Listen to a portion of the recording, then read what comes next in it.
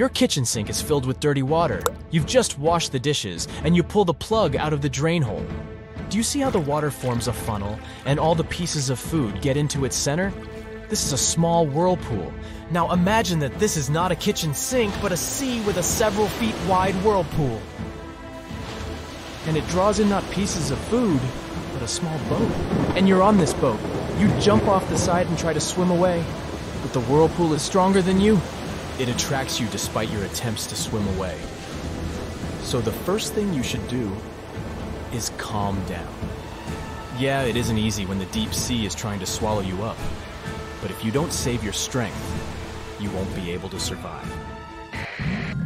And now remember one life hack. Do not try to swim in the opposite direction when the current from the shore carries you away. Head to the side.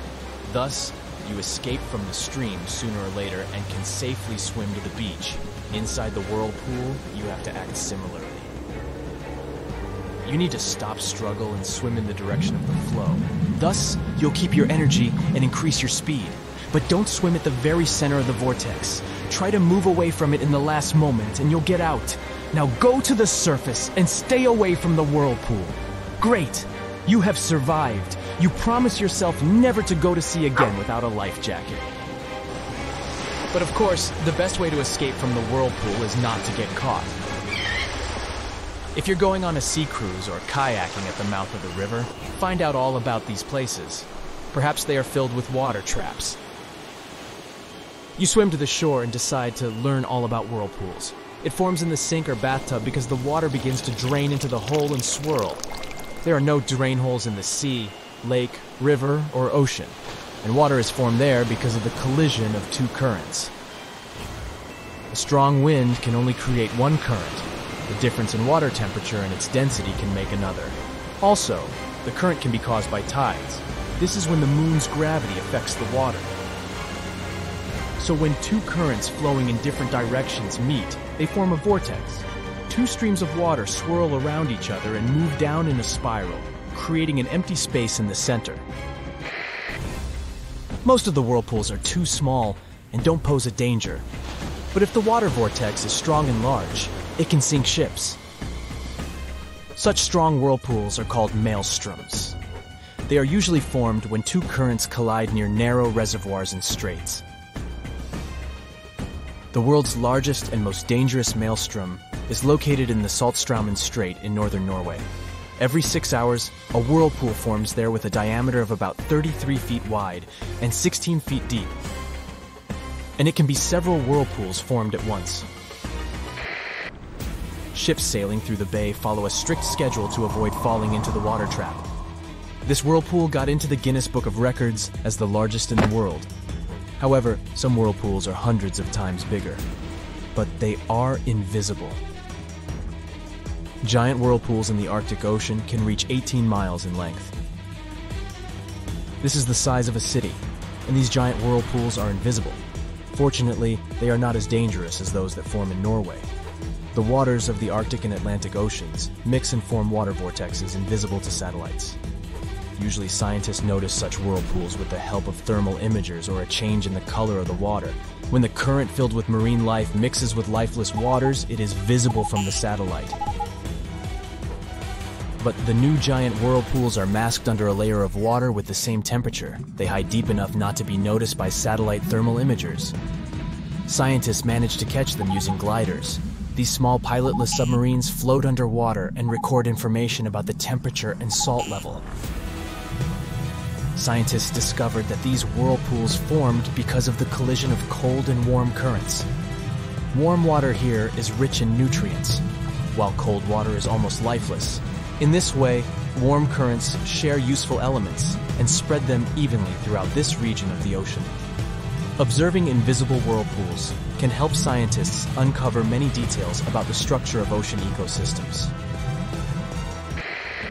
Whirlpools exist not only in water but also in space.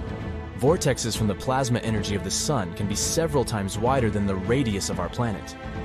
However, all this solar radiation cannot create giant vortexes on Earth because the magnetic field protects us. The solar wind glides past the planet's atmosphere like a wind over the ocean surface. but a little energy still manages to break through the protection.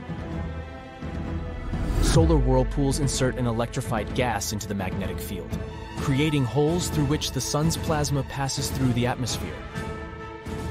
If whirlpools happen during the collision of different currents, it means that you can predict their appearance in advance. But there are unpredictable natural phenomena in the seas and oceans that pose a danger for small boats, yachts, giant ships, and oil rigs. The phenomenon is called a rogue wave. So now let's get aboard your yacht and sail somewhere in the ocean. It doesn't matter what ocean and where exactly you are, because rogue waves can appear anywhere. A small storm is starting, but your boat can easily handle it. The wind raises small waves that beat against the hull of your yacht.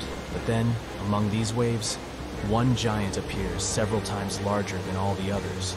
It would quickly turn your vessel over like a paper ship. But fortunately, this wave passes by and dissolves into the sea. This unpredictable wave of enormous power can destroy huge ships in a second, and such disasters have happened many times. Sailors all over the world told each other stories about the giant waves that appear during a storm and in a quiet sea. Many considered such waves only fairy tales, such as legends about the Kraken and Atlantis. But at the end of the 20th century, people were able to capture this sea phenomenon with laser detector that measured the size of the wave. On January 1st, 1995, a massive rogue wave crashed into an oil station in the Norwegian North Sea. There was a storm that day, with big waves about 40 feet long. At some point, they formed a big guy and 85 foot wave. That day, rogue waves turned from a fairy tale into reality.